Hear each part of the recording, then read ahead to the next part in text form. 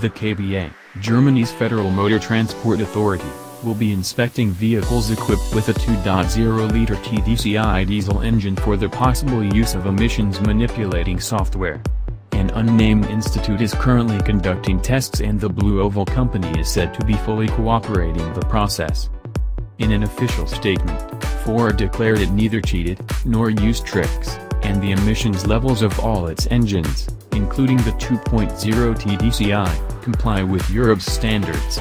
No illegal shut-off devices were used in our diesel exhaust after treatment systems, Gunnar Herrmann, Ford Germany's chief, commented.